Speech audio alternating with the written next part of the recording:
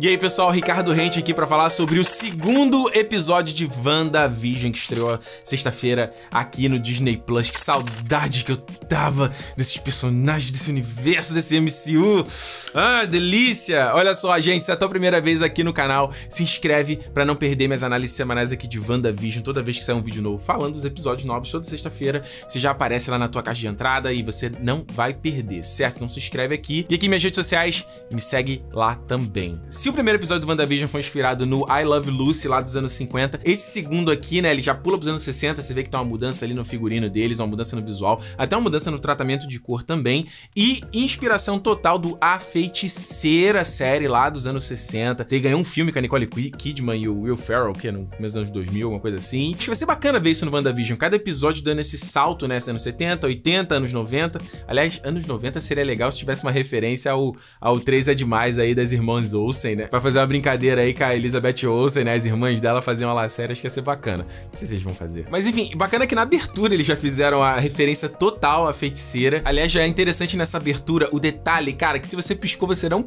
já perdeu, que é o detalhe do Green Reaper, que é um vilão, é o vilão, um dos vilões do Visão na HQ do Visão, que ele tem lá, a família do Visão, escrita pelo Tim King, que é né, inspiração para essa série aqui também. Você viu o detalhezinho, olha, aparece ali com o esqueletinho, que é parte do traje dele, o detalhezinho da cabeça, escondido ali no como se estivesse enterrado, né? E um easter egg aqui desse episódio, nem nada escondido, é o comercial de relógio que eles fazem aqui do Strucker, né? Que é o Barão Strucker, é o cara lá que fez o experimento nela e no Pietro, aparece ali no Soldado Invernal e depois no Era de Ultron também. Aparece até, obviamente, o loginho aqui da Hydra e o nome ali da Hydra no cantinho ali do relógio, né? Outro easter egg que esse aqui tá invisível é a base que aparece lá no começo da Era de Ultron, onde ficava lá a Wanda e o Pietro e o Barão Strucker, né? Que os Vingadores desbaratam aquela base ali e capturam, recapturam o cetro do Loki, né? Ou seja, vê como todos esses fatos que estão na mente da Wanda estão aparecendo durante o cenário, né? Todos esses traumas, todas essas experiências que ela viveu, né?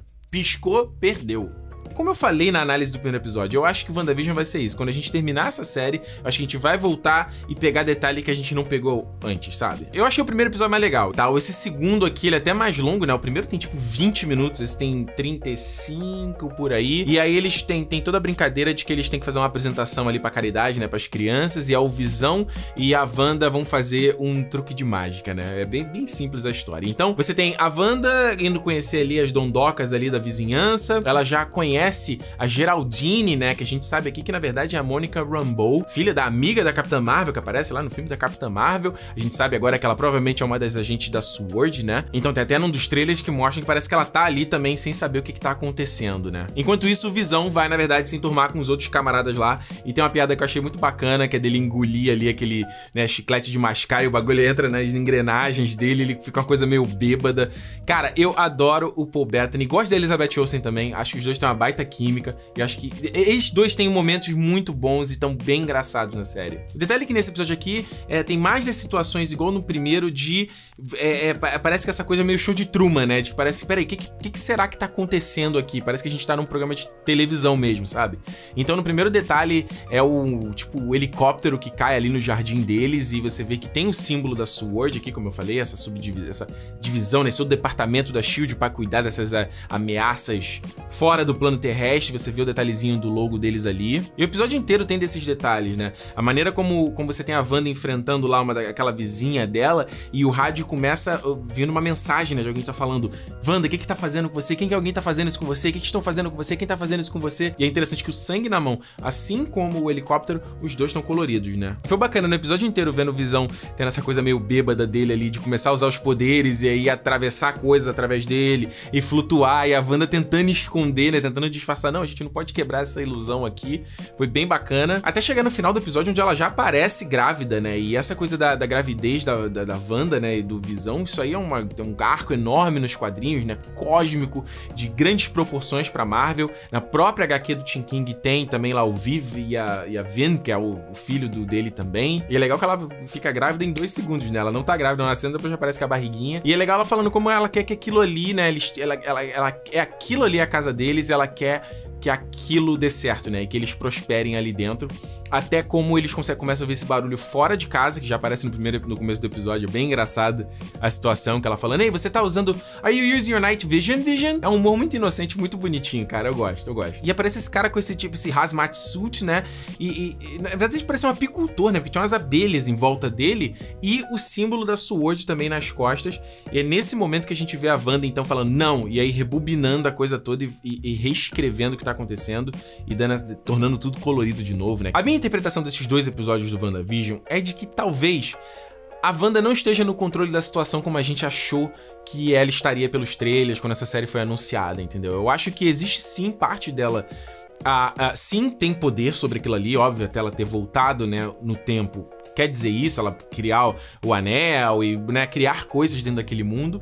Mas eu tenho a impressão de que talvez tenha mais gente ali comandando esse mundo, entendeu? Pelo fato de você ter alguém assistindo aquilo que tá acontecendo ali, né? Assistindo a série deles, eu fiquei imaginando muito uma coisa meio meio Inception, meio, meio Matrix, sabe? Como se fosse uma coisa meio consciente coletivo, que as pessoas pudessem se conectar ali nesse mundo fictício, multidimensional e tal. Isso pode ter o portal para isso pode ter sido aberto com o estalo do Thanos, isso pode ter sido aberto com a própria Wanda tentando recriar o Visão, tentando dar vida para ele, né? Como eu acho que é é a minha teoria a respeito daquele coração que aparece no calendário. Então eu imagino que justamente essa, essa, essa realidade seja meio que compartilhada, entendeu? Por isso que você tem esses agentes da Sword, você tem a Monica Rambeau entrando ali dentro, você tem a própria vizinha deles, a Agnes, que, né, como eu falei no vídeo anterior, ela pode talvez ser a vilã do, dessa série toda. E você tem pessoas acompanhando o que, que tá assistindo e tentando entrar nesse mundo, sabe?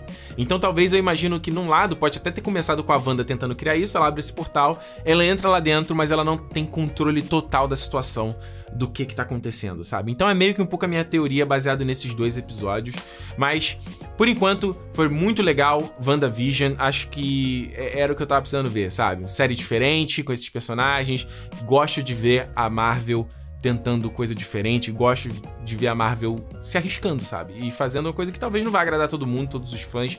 E eu acho que esse é o caminho. E eu acho principalmente que série Disney Plus é o local para criar essas coisas, entendeu? É o celeiro. Então tô bem feliz e tô ansioso pro episódio da semana que vem. Como eu falei, conta aqui nos comentários o que você achou desses dois episódios de WandaVision. Não se esquece de se inscrever para você não perder a minha análise na semana que vem e também me segue lá aqui nas minhas redes sociais pra gente trocar uma ideia e bater papo sobre WandaVision.